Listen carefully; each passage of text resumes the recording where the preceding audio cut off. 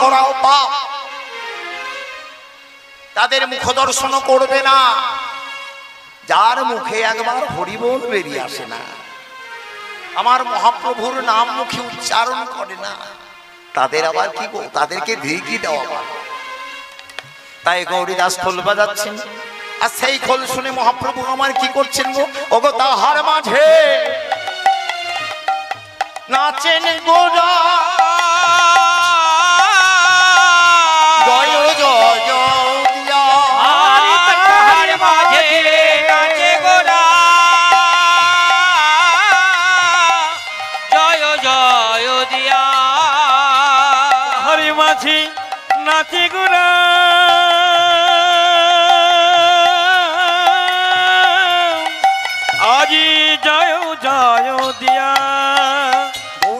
নাচে রে। অঙ্গ নাচে রে। গৌরাঙ্গ নাচে রে। গৌরাঙ্গ নাচে রে। হেমিদণ্ড বাহু তুলে গৌরাঙ্গ নাচে।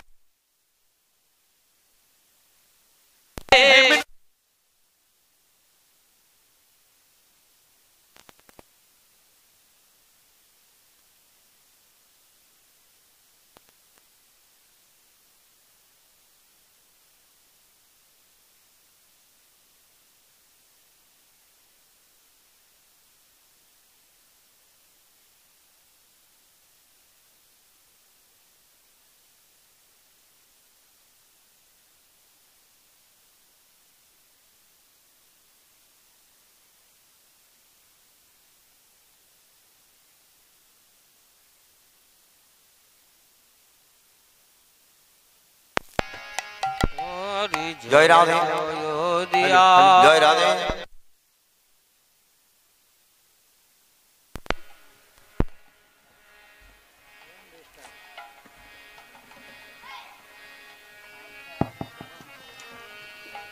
হ্যালো।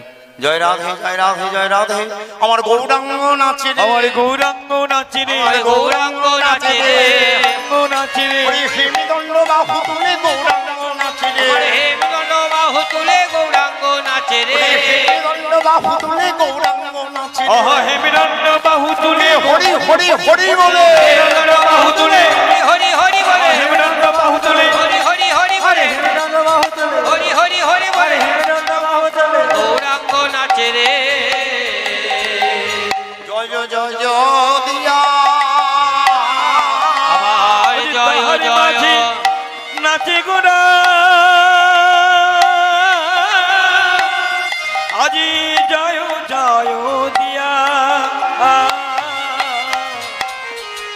আমার গৌর হরি নৃত্য করছে। আর কে নাচছে গো? শ্রীবাস নৃত্য করছে। কীভাবে? করতাল বাজাচ্ছে শ্রীবাস। করতাল অর্থে করে করে তালি বাজায়। সে কি বলছে বলি, বেতালে তাল কাটায়ও না। তোমরা বেতালে দিন যাপন করো না, সব তালে চলো। কিন্তু আমরা কেউ তালে চলি না। সবাই কিন্তু আমরা ভাবি আমরা তালেই চলছি কিন্তু আমরা তালে চলতে গিয়েই কিন্তু আমরা খালে পরিবেশ কেন? ওটা তো সঠিক পথ নয়। সঠিক পথটা কেমন বাবা? সঠিক পথটা কেমন? সঠিক পথ হলো মা। মনে মনে একবার ভাবুন তো বাবা। আজকে যে যে জায়গায় এসে আমরা দাঁড়িয়েছি, আপনারা আমার থেকে বয়সে বড়। ওদের থেকে আমরা বড়। তাহলে এই যে একটা একটা করে ধাপ আমরা পেরিয়ে আসছি। যত দিন যাচ্ছে, তত কি হচ্ছে না মনের মধ্যে একটা চৈতন্যের জাগ্রত হচ্ছে? হচ্ছে না বাবা আগে যে ভুলগুলো আমরা করেছি, সেই ভুল কিন্তু এখন আমরা করছি না, এরা করছে। এদেরকে বলতে যাব, শুনবে না। আমরাও শুনি ভালো করে পড়। বইটাকে উল্টে দিল নি, ঘুমাতে লাগল। এখন ভালো করে পড়, বইটাকে উল্টে দিয়ে মোবাইল দেখতে লাগল। মোবাইল দেখতে লাগল। দোষ এদের নেই মা, দোষ আপনাদের। কেন? মাদের দোষ সব থেকে বেশি। রান্না করছে, মোবাইলটা এক পাশে চলছে। কোনোদিন নুন দিতে ঝাল দিয়ে দিল, ঝাল দিতে লবণ দিয়ে দিল, কোনোদিন জল দিল না, কোনোদিন সবজিটাই পুড়ে গেল। হরি হরি বল এমনি করে তো রান্না হয় না। কারণ রান্নার শালটা হচ্ছে পবিত্রের জায়গা। এই পবিত্র জায়গাটাকে যদি ধরে না রাখতে না পারেন মা, তাহলে কি হবে? ঘরে লক্ষ্মী বাস করবে না। রাত্রেবেলায় খাওয়া দাওয়া করলাম, বাসনগুলো সব রান্না করে রেখে দিলাম। সকালবেলায় উঠে আমরা সেই বাসন ধুচ্ছি, হরি হরি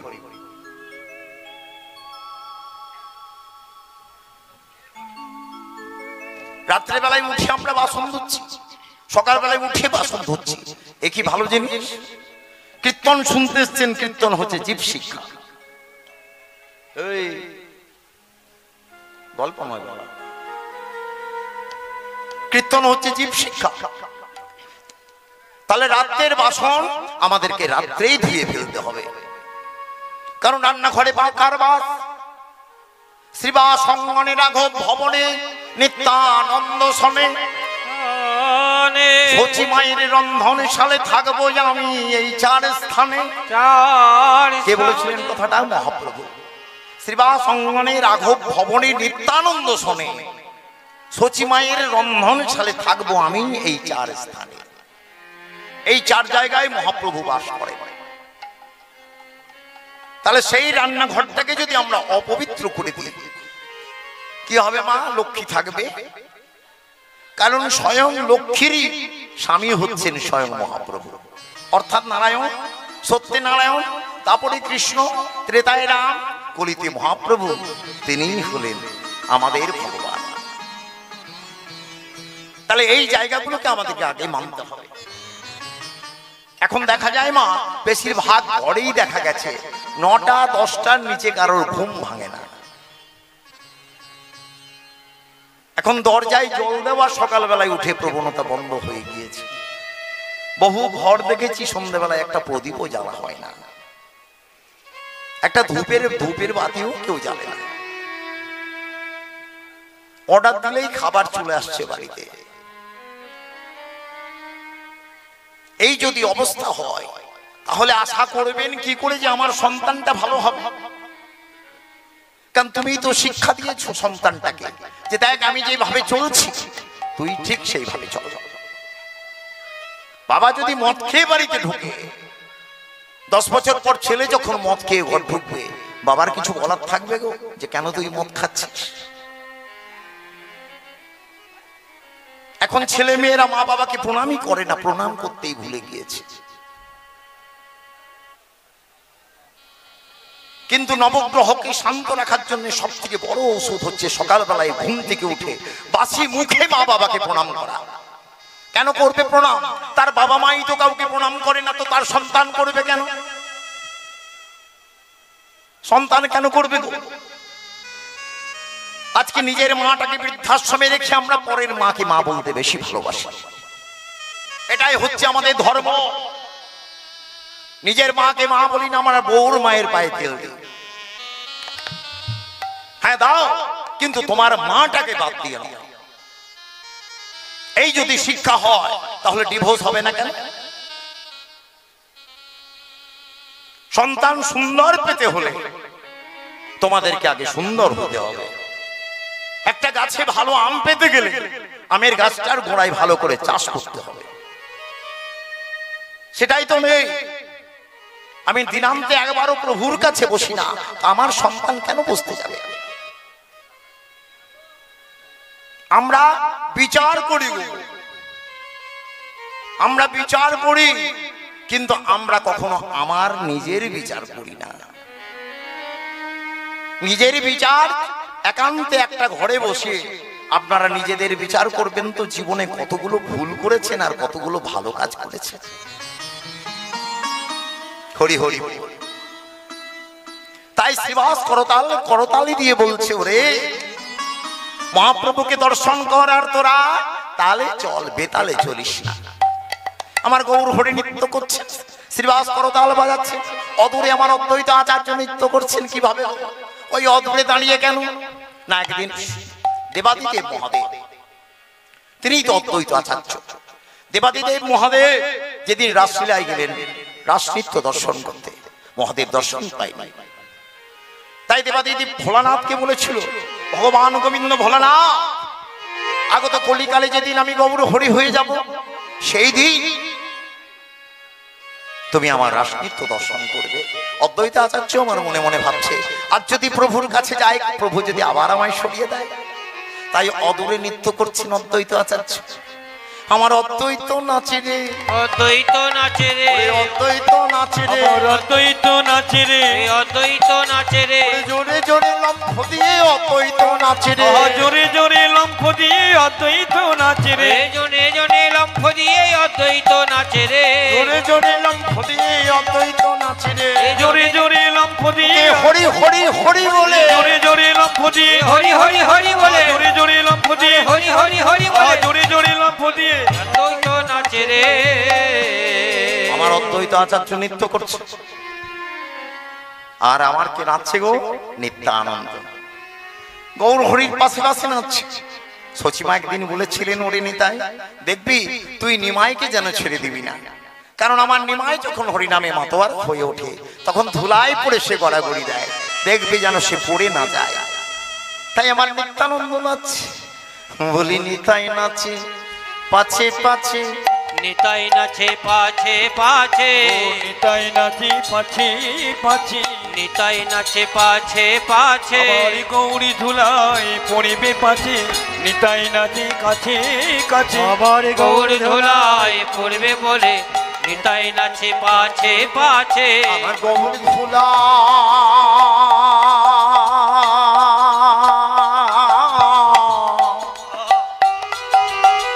পড়বে পাছে নিতাই নাচে পাশে পাশে। আমার আর গৌরী ধুলা পড়বে পাছে নিতাই নাচে পাছে পাছে। গৌর ধুলায় পড়বে পাছে নিতাই নাচে পাশে পাশে। আমার গৌরী ধুলাই পড়িবে পাছে। মুখে হরি হরি বলে। আমার গৌরী ধুলাই পড়িবে পাছে। আমার গৌরী ধুলাই পড়বে পাছে। নিতাই নাচে পাছে পাছে। আমার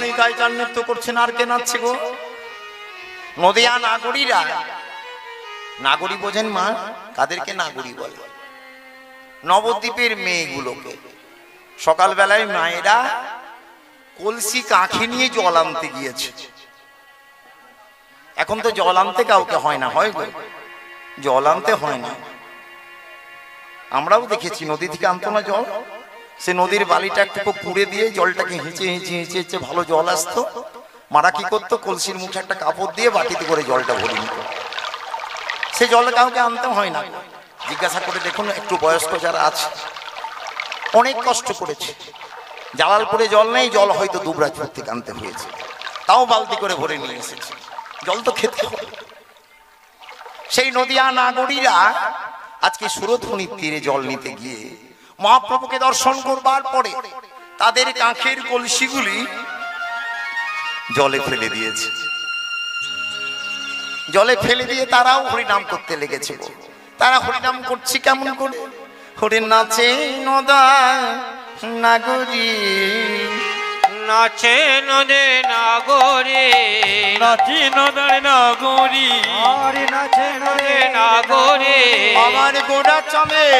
ঘেরি ঘেরি নাচে নদা আমার নাগরী কোনা চাঁদের ঘেরি ঘেরি নাচি নদার নাগরী আর গোড়া চাঙ্গে ঘেরি ঘেরি নাচে নড়ানো রে কোনা চাঁদে ঘেরি ঘেরি নাচি নদার নাগরী গোড়া চাঁদে ঘেরি ঘেরি নাচে নড়ানো বাসুদেব ঘষে হেঁটে মনে রবিলা মনে রবিলা রাস রসগোরা চন্দ করিলেন প্রকাশ। মেরা চিরস গোড়া চান করিলেন পোকা এরা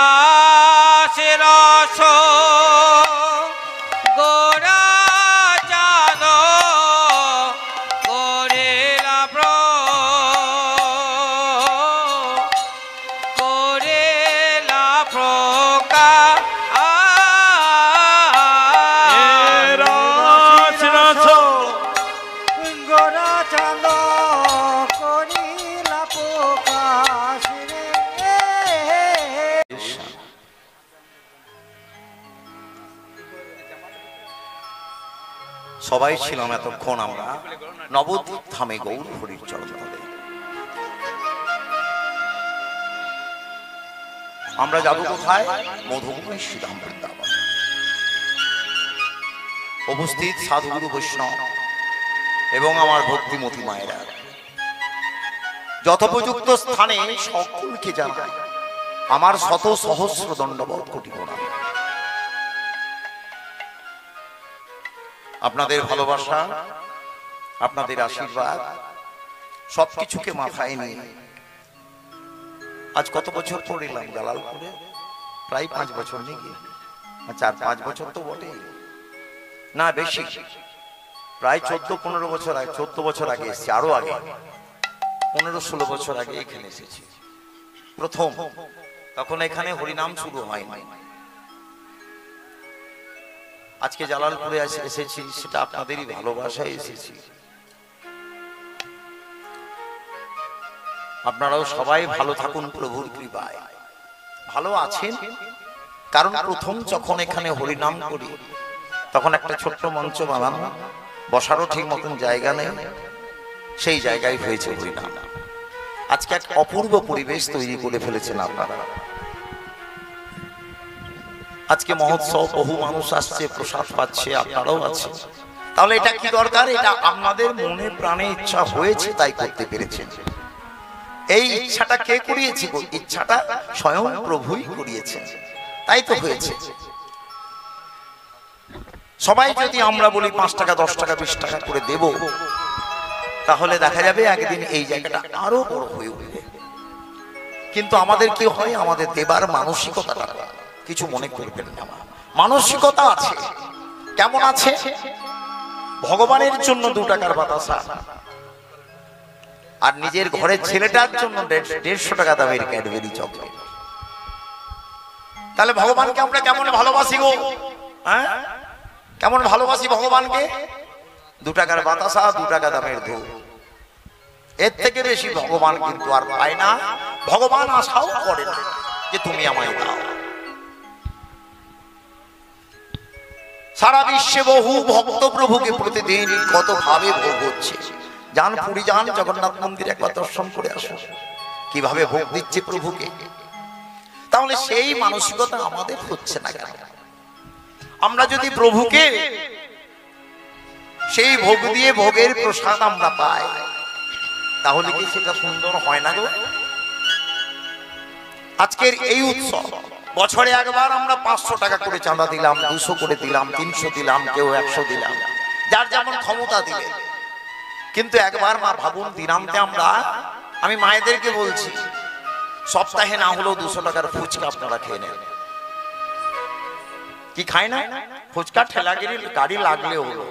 কি দশটা, বিশটা, পঞ্চাশটা ফুচকা দাঁড়িয়ে দাঁড়িয়ে খেয়ে নেবে। কিন্তু ভগবানের জন্য আমরা কিন্তু কুড়ি টাকা তুলে রাখতে পারি না।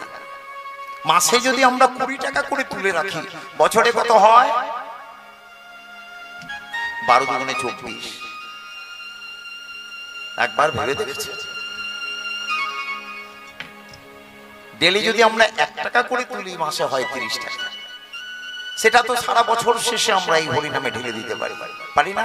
কারোর দরজায় যাওয়া লাগবে না যে আমাদেরকে চাঁদা দাও, হরিনাম করব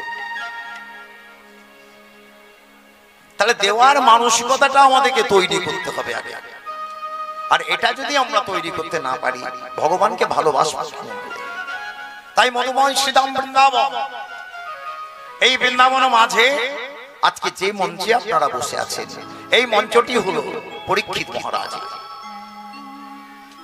আর আমাকে যেখানে আপনারা কৃপা করে দাঁড় করিয়েছেন, এটা হলো কার? কার? ব্যাসদেব পুত্র। কি সুখদেব দেবাদিদেব মহাদেব, একদিন দেবী পার্বতীকে অমরত্ব কথা শোনাচ্ছেন। এই মঞ্চে ওঠার ক্ষমতা কিন্তু আমার নেই। আপনারা কৃপা করে আমাকে তুলেছেন। পার্বতীকে বলছি পার্বতী আমি তোমায় অমরত্ব কথা শোনাবো ঠিকই।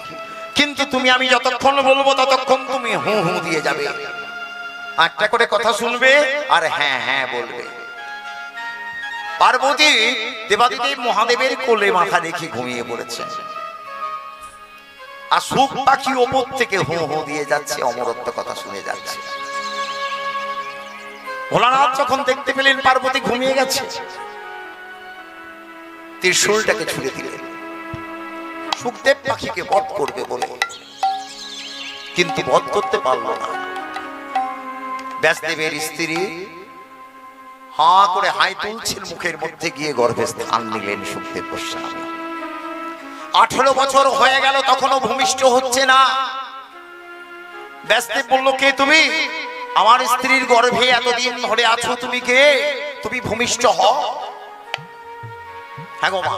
কোন সন্তান আঠেরো বছর ধরে কারোর কোনো মায়ের গর্ভে থাকে? কতদিন থাকে? দশ মাস, দশ দিন। তাহলে তুমি কে? তুমি ভূমিষ্ঠ হ সুখদেব গোস্বামী ভেতর থেকে বললেন, আমি সুখদেব গোস্বামী। চারিদিকে মায়া, তাই আমি ভূমিষ্ঠ হতে পারছি না। পিতাশ্রী আপনি মায়াকে সরিয়ে নেন। আমি ভূমিষ্ঠ হয়ে যাব। এক পলকের জন্য মায়াকে সরিয়ে নিলেন ব্যস্তে। সুখদেব গোস্বামী আমার ভূমিষ্ঠ হয়ে ভূমিষ্ঠ হবার পর বিবসনা হয়ে অঙ্গে কোনো বস্ত্র নেই। আঠেরো বছরের যুবক ছুটতে ছুটতে চলে যাচ্ছে। আর তার পিতা ব্যস্তে, সেও পেছনে পেছনে যাচ্ছে। সুখদেব! সুখদেব! সুখদেবের কোনো বিকার নেই। যার মায়া কেটে গেছে, তার আবার কিসের বিকার এই দেহটা ছেড়ে যেদিন আত্মা বেরিয়ে যায়, সেই দেহটার প্রতি তার কি আর কোনো মায়া থাকে? থাকে না। আমরা সবাই মায়ার দাস হয়ে আছি, যতদিন জীবনে বাঁচব। একমাত্র মায়া মুক্ত সে, যে সেই প্রকৃত ভগবান গোবিন্দকে যে পেতে পেরেছে। বা ভালোবাসতে পেরেছে। গোবিন্দ ছাড়া মায়া কাটানোর আর কেউ নেই। মানস সরোবরে। অপ্সররা স্নান করছেন। সুখদেব গোস্বামী পেরিয়ে চলে গেল বিবসনা হয়ে। অঙ্গে বসঙ্গে সেই অপ্সররা বিবসনা, সুখদেব গোস্বামীকে দেখে তাদের কোনো লজ্জা হলো না। লজ্জা এলো না। ব্যাসদেব বৃদ্ধ। সেই ব্যাসদেবকে দেখে সেই সমস্ত রমণীরা অঙ্গে বসন দিয়ে ঢাকা দিচ্ছে। কি গো মা? আমার আঠেরো বছরের যুবক চলে গেল। তাকে দেখে তোমাদের লজ্জা হলো না। আর আমি বৃদ্ধ মানুষ আমাকে দেখে তোমার লজ্জা লাগছে। কেন গো? বাবা যে গেল সে মায়া মুক্ত আর আপনি হলেন মায়াবদ্ধ পরীক্ষিত মহারাজ, কলির অভিশাপে।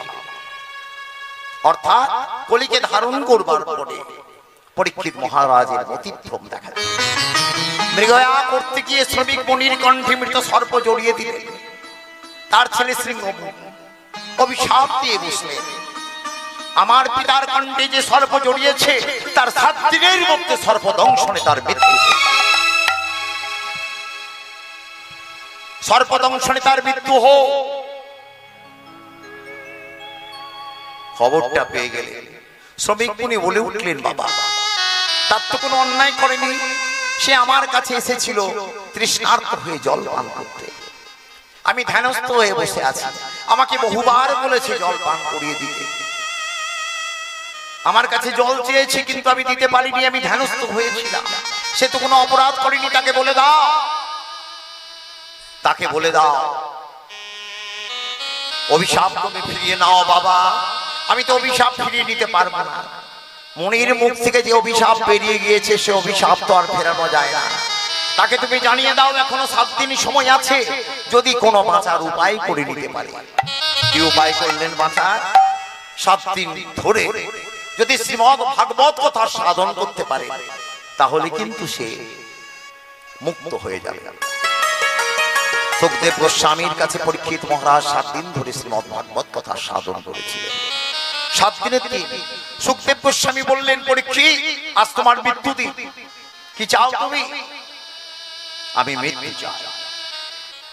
আমি মৃত্যু চাই? মৃত্যু তো তোমার হবে না, কারণ তুমি সাত দিন ধরে শ্রীমদ ভাগবত কথা সাধন করেছ। মৃত্যু তোমায় স্পর্শ করতে পারবে না। সর্বদংশনে তোমার মৃত্যু হবে না। সুখদেব গোস্বামীকে বললেন গুরুদেব, আমাকে যে মৃত্যুবরণ করতেই হবে, আর যদি সর্বদংশনে আমার মৃত্যু না হয়, কাল থেকে মনির মনির অভিশাপ মিথ্যা হয়ে যাবে। বলো না, এই জীবিত অবস্থায় সর্ব দংশন করতে পারবে না। বলল তাহলে আমি আমার নিজ দেহ ত্যাগ করলাম। আমার মৃত্যুকে তিনি বরণ করে নিলেন। মৃত্যুকে বরণ করবার পরে আমার সেই মৃতদেহের উপরে সর্প এসে দংশন করবে। তাই হয়েছিল বাবা। অর্থাৎ সঠিকভাবে যদি শ্রীমদ ভাগবত কথা কেউ আস্বাদন করতে পারে, কখনো তা কি হ- গোমা কোনোভাবেই তার অকাল মৃত্যু হবে না। এইরকম এরকম নয় বাবা। এর মধ্যে প্রচুর ক্ষমতা লুকিয়ে আছে। ও মা, এই যে গো, জয় রাধে। ক্ষমতা কি? ক্ষমতা চোখে দেখা যায় না। একটা ইট, তার ক্ষমতা চোখে দেখা যায় বাবা। ইটটাকে তুলে নিয়ে যখন ছুড়ে হলো, কি হলো? তার মাথাটা ফেটে গেল। তখন তার ক্ষমতাটা বুঝতে পারলাম ইটটার কত ক্ষমতা। তাই ঐশ্বরিক ক্ষমতাটাকে উপলব্ধি করতে হয়, অনুভব করতে হয়। তবে ঐশ্বরিক ক্ষমতা বোঝা যায়। তাই আজকে মধুময় শ্রীধাম বৃন্দাবন বৃন্দাবন মাঝে প্রাণ গোবিন্দ আমার প্রাণী গোবিন্দ শারদীয় পূর্ণিমার রাত্রি। মা তার গোপালকে ঘুম পাড়িয়ে দিচ্ছে। বাবা তুই ঘুমিয়ে যা। কিন্তু ভগবান গোবিন্দের চোখে মুখে ঘুম নেই। ঘুমের ভান করে পড়ে রইলেন তিনি। মা ভাবছে, ছেলে আমার ঘুমিয়ে গেছে। তাই দরজাটাকে ভেঙিয়ে দিয়ে পূর্ব দিকে জানলাটাকে একটু খুলে দিয়ে গেলেন, হাওয়াটা আসবে বলে। সেই পূর্ব দিক থেকে চাঁদের আলো প্রবেশ করছে। প্রাণ গোবিন্দ আমার যেই চাঁদের আলো দর্শন করেছে। মনে পড়ে গেছে কার কথা? সেই প্রতিশ্রুতি দেওয়া কথা। যে কথা দিয়েছিলেন ব্রজ ব্রজগোপীদেরকে। তাই তিনি চিন্তা করছেন, আমি যাব কেমন করে দরজা তো বন্ধ। তাই যোগমায়াকে স্মরণ করলেন। সঙ্গে সঙ্গে যোগমায়া এসে দরজা জানলাটাকে খুলে দিলেন। প্রাণ গোবিন্দ আমার বেরিয়ে পড়লেন। ব্রজগোপীদের মনোবাসনা পূর্ণ করবেন বলে। আজকে বৃন্দাবনের অবস্থাটি কেমন? জয় রাধে। কি বা?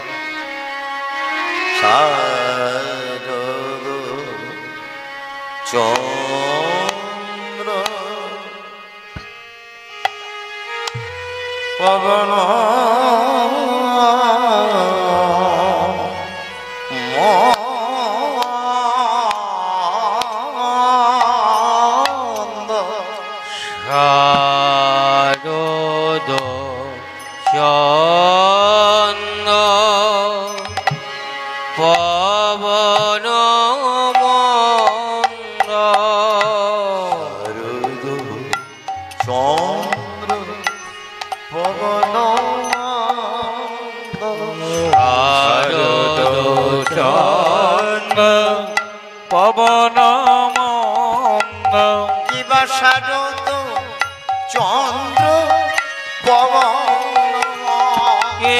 শারদ চন্দ পবন মন্দ। চন্দ্র পবন কিবা শারদ চন্দ পবন মন্দ। শারদ চন্দ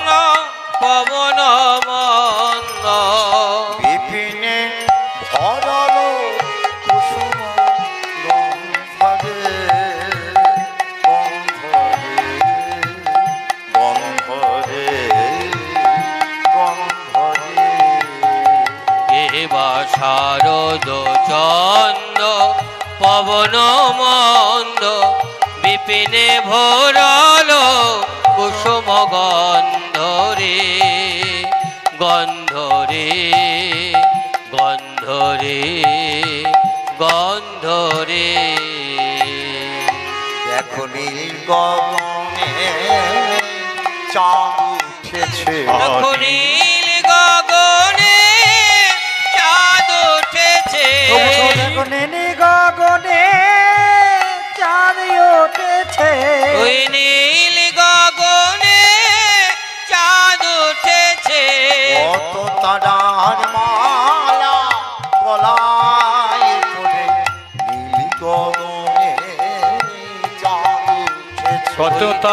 তারার মালা গলায় পড়ে নীলি গগনে চাঁদ উঠেছে। সেই নীল গগনের চাঁদকে আমার ভগবান গোবিন্দ। শত শত কোটি কোটি চাঁদ যদি বৃন্দাবন মাঝে নেমে আসে, সেখানে যদি আমার ভগবানের মতন চাঁদের উদয় হয়, সে চাঁদকে কিছু করতে পারবে মা? হ্যাঁ? প্রাণ গোবিন্দ বৃন্দাবন মাঝে দাঁড়িয়ে আছে দেখো, নীল গগনে আর চাঁদ উঠেছে। তাই পবন দেব কি করছে? ভগবান আজকে উদিত হয়েছে। কোথায় বৃন্দাবন মাঝে? ভক্তগণের মনোবাসনা পূর্ণ করবেন বলে।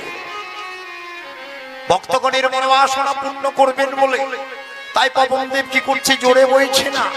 আস্তে আস্তে বইছে। বইছে পবন মন্দ মন্দ। বইছে পবন মন্দ মন্দ। বইছে পবন মন্দ মন্দ।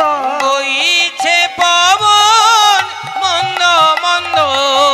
গগনে হে রে সারদ চন্দ্র বইছে পবন মন্দ ওগো গগনে হেরে শারদ চন্দ।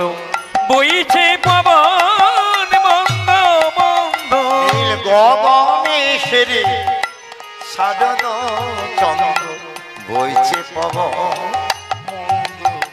ওই গগনে হেরে শারদ চন্দ। বইছে পবন মন্দ মন্দ সে মন্দ মন্দ ভাবে বইছে। হ্যাঁ? তাই অবস্থাটি দেখে আজকে পদকর্তা কি বলছে? কিবা ফুল মল্লিকা মালতী ও ফুল মল্লিকা মালতি জ্যোতি ফল্ল মল্লিকা মালত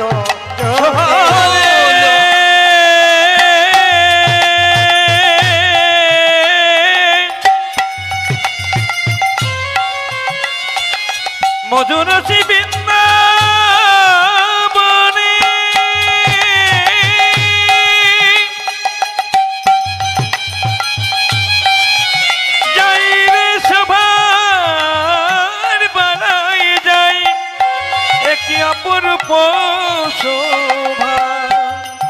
শোভা মল্লিকা মালতি জ্যোতি। মল্লিকা মালত জ্যোতি। হাই হাই হাই। হাই হাই। হাই আর বলব না। এবার আমি আসছি গরম করছি ভীষণ। কি বলতে পারি? উলুদ ধরে দিলে বলব। একবার দেন তো দেখি কতগুলো করছে।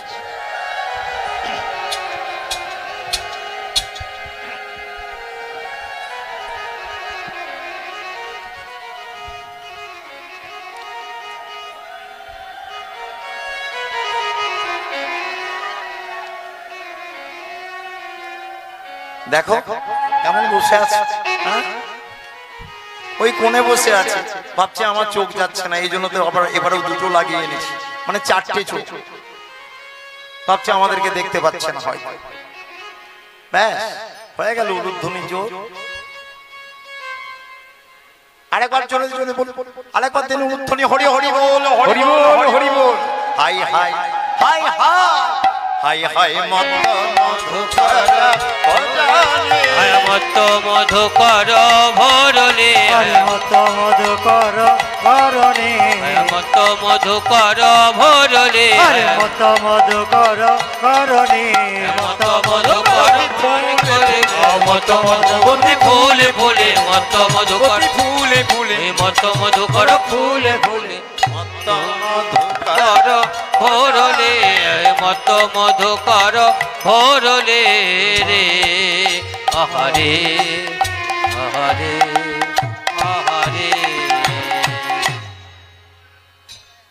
কি করছে তারা? তারাও ফুটেছে। তারাও ফুটেছে। তারা ফুটেছে। তারাও ফুটেছে। যারা ফুটে নয় আছো তারাও ফুটেছে। ফুটে নাই আজ তারা ফুটেছে। ফোটে নয় আছো তারাও যারা ফুটে নাই আজও তারাও ফুটেছে। যারা ফুটে না সব ফুল তো সব সময় হয় না বাবা। বৃন্দাবন মাঝে আজকে ফুল ফুটেছে। কোন ফুল? বলছে সব ফুল ফুটেছে। আর সেই ফুলগুলিকে দেখে প্রলুব্ধ ভ্রম তারা কি করছে গো? হ্যাঁ? তারা কি করছে? তারা ফুলে ফুলে ফুলে বসেছে। ফুলে ফুলে ফুলে বসেছে। তারা ফুলে ফুলে ফুলে বসেছে। তারা ফুলে ফুলে ফুলে বসেছে। কি করছে বাবা তারা? ফুলে ফুলে বসছে, তাই তো নাকি? ভ্রমণগুলো কোথায় বসছে বাবা? ফুলে ফুলে। হ্যাঁ? না বাবা, ফুলে ফুলে বসে। ওমা! সেই প্রলুব্ধ ভ্রমণ কিন্তু ফুলে ফুলে বসেনি গো। তারা বসছে কেমন করে? ফুলে ফুলে বসছে বুঝতে পেরেছে? ফুলে ফুলে বসছে ও ফুল নয়, কেন ফুলে ফুলে বসছে? আজ প্রভুর কাছে তারা এসছে, প্রভুর রাসনৃত্য দর্শন করবে বলে। তাদের মনে কি অহংকার আসবে না? বৃন্দাবনে কোনো অহংকার নেই বাবা। এটা চরমতম আনন্দ। তাই তারা ফুলে ফুলে বসছে। সেই প্রলুব্ধ ভ্রমণ তারা ফুলে ফুলে বসে কি করছে? যেন গান করিছে। যেন গানি করিছে। যেন গান করেছে। কানে কানে ভ্রমণ গান করিছে। কানে কানে ভ্রমর গান করিছে। কানে কানে ভ্রমণ গান করিছে। কানে কানে ভ্রমর গান করেছে। গুন গুন গুন গুন সদে কানে কানে ভ্রমণ গান করেছে। ও গনে গুন গুন গুন গুনে গুন স্বরে কানে কানে তারা গান করিছে। কি গান করছে মা? গানটা শুনবে? বলব গানটা? কি গান করছে বলব?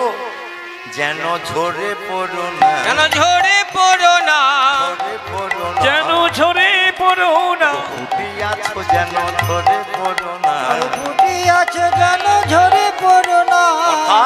আপনারা যখন এই বৃন্দাবন মাঝে উপস্থিত হয়েছে যতক্ষণ আমাদের রাধা গোবিন্দের এই রাসনৃত্য চলবে যেন কেউ ঘুমিয়ে যেন না মা। হ্যাঁ? ঝরে পড়েন না। ফুটি আছো যেন ঝরে পড়ো না। ফুটে আছে যেন ঝরে পড়ো না। গোবিন্দ বিলাস দেখবে যদি ফুটি আছো যেন ঝরে পড়ো না। তারে নিত্য লীলা হেরবে যদি উড়ে যাচ্ছ যেন ফুটে ঝরে পড়ো না। ঝরে পড়ো না। এই দিকের অবস্থাটি কেমন? হে রাতি তো রাতে ওই ছন ভাতে। রাতি ওই ছানা ভাতে। তো রাতে ওই ছন ভাতে। শ্যাম মোহনে।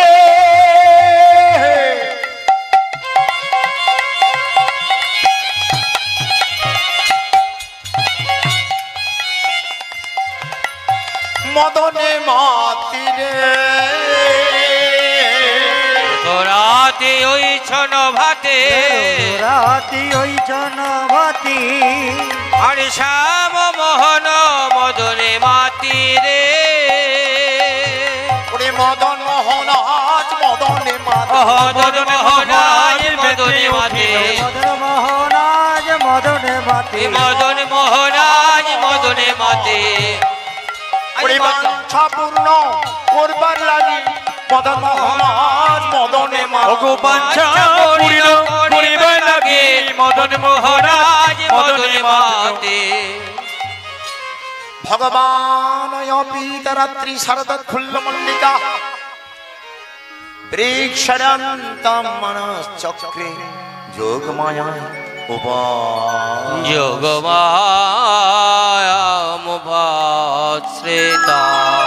ভগবান রাত্রি ভগবান অপিত রাত্রি কোন রাত্রির কথা বলেছে বাবা? ভগবান অপিত রাত্রি রাত্রিটা গা ব্রহ্মার রাত্রি।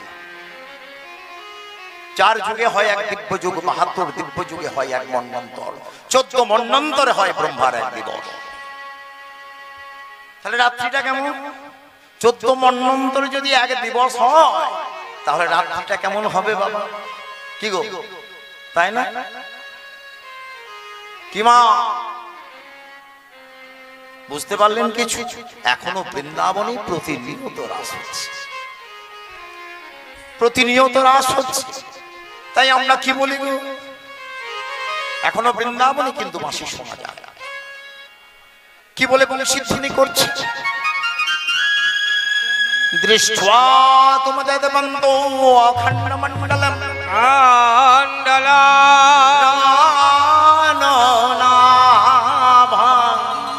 নবকুঙ্কুময়রুণা করুণা।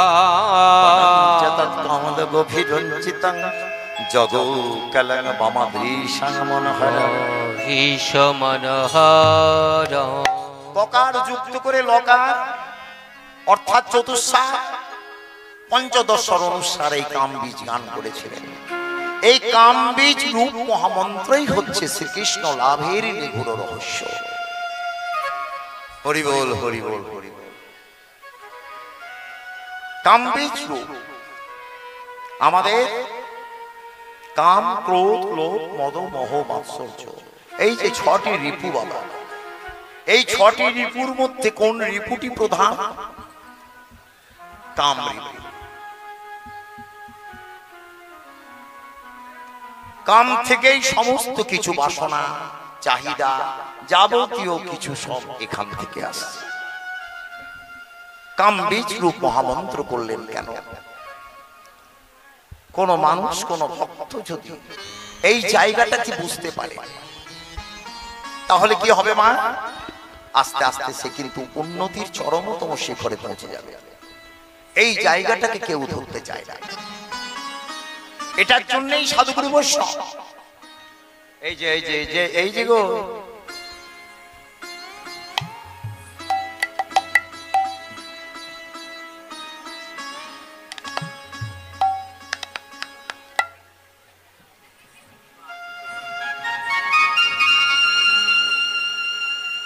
তাহলে কামনা থেকেই আমাদের সবকিছু সৃষ্টি। সাধুগুরু বৈষ্ণবের চরণ যদি ধরা না যায় সদ্গুরু যদি প্রাপ্ত না তাহলে কিন্তু এই জায়গাটাকে বাবা যতই চৈতন্য চৈতামৃত পড়ুন যতই মহাভারত পড়ুন যতই রামায়ণ পড়ুন এখান থেকে কিন্তু বেরিয়ে আসা যাবে না। প্রথমেই গুরুর কৃপা প্রয়োজন। গু শব্দে অন্ধকার গু শব্দে আলো। একমাত্র তিনি পারেন অন্ধকার থেকে আলোতে নিয়ে আসতে। তাহলে এই সুন্দর গুরুকে পেতে হলে দরকার কাকে? প্রথমেই আমাদের ভগবানকে ধরতে হবে। হে প্রভু, কৃপা করে তুমি জানিয়ে দাও আমি কোন গুরুর কাছে আমি যাব। আমার গুরুদেবটি কেমন হবে। এই চাহিদা যদি কোনো ভক্তের থাকে, গুরুকে খুঁজতে হবে না, গুরুই দেখবেন শিষ্যের কাছে পৌঁছে গেছে। ভগবান গোবিন্দ রাস করেছিলেন কেন? রয়াকার দন্তস্বরা র শব্দে পরমাত্মা স শব্দে জীবাত্মা। র শব্দে জীবাত্মা স শব্দে পরমাত্মা। জীবাত্মার সঙ্গে পরমাত্মার মিলনই হলো না ব্রহ্মাদি জয় দেব দর্প কন্দর্প দর্প জয়তি শ্রী গোপপতি শ্রীরাস মন্ডল মণ্ডিত।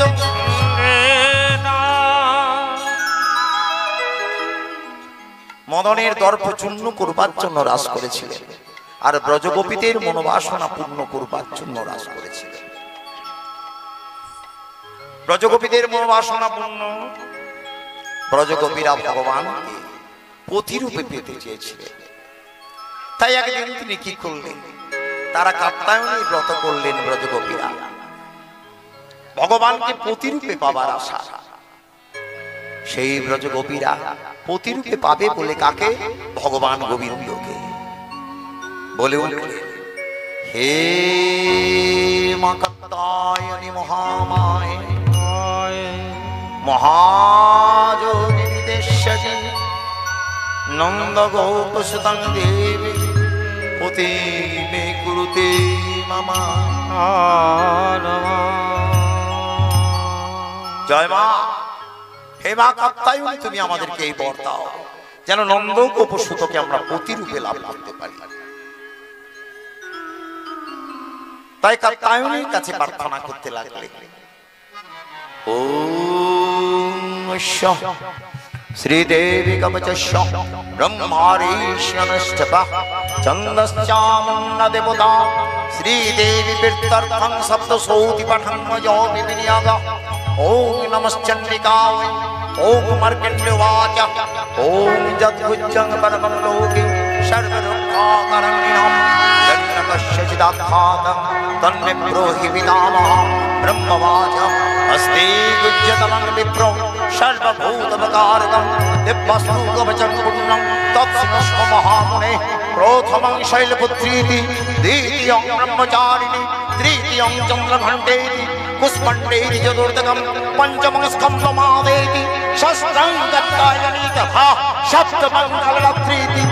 মহাগৌরত্রি চাষ্টাম তব মমি সিদ্ধিদাত্রী জম নব দুর্গা প্রকৃতিতা উক্তান্নে তানি নামানি ব্রহ্মময় বৈ মহাগমনা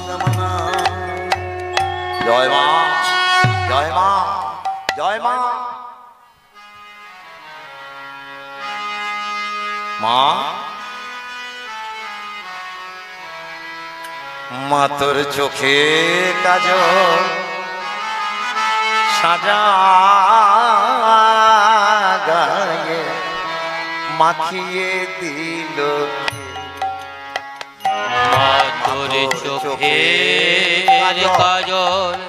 সারা গায়ে মাখিয়ে দিল কে? মা তোর চোখের কাজ সারা গায়ে মাখিয়ে দিল মাতর চোখের কাজল সারা গায়ে মাখিয়ে দিল কে? বল কে পড়ালো? বল কে পড়ালো? শ্মশানে কে পড়ালো? শ্মশানে মাতরকে পড়ালো শ্মশান চিতা। ভস্য দিল কে? চোখে কাজল সারা গায়ে মাখিয়ে দিল কে? মাতর চোখের কাজল সারা গায়ে মাখিয়ে দিল হারের মালা কোথায় পেলি?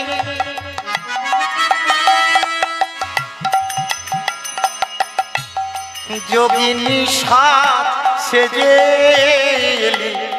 হারের মালা কোথায় পেলে?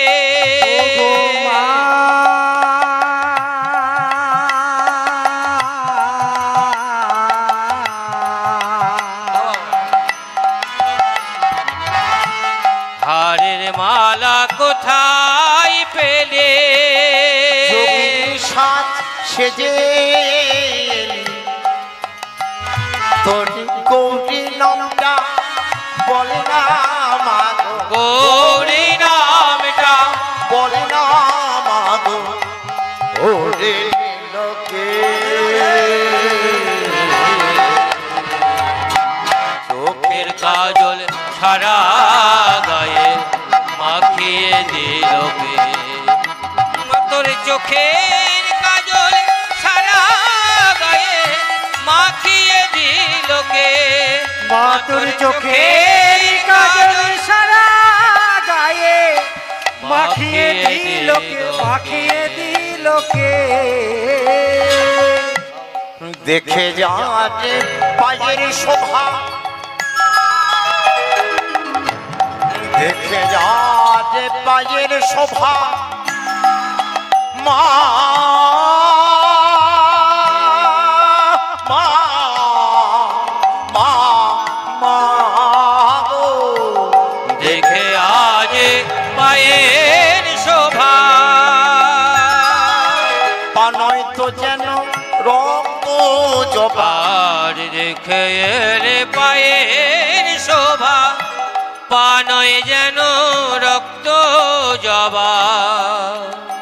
এমন রূপের ডালি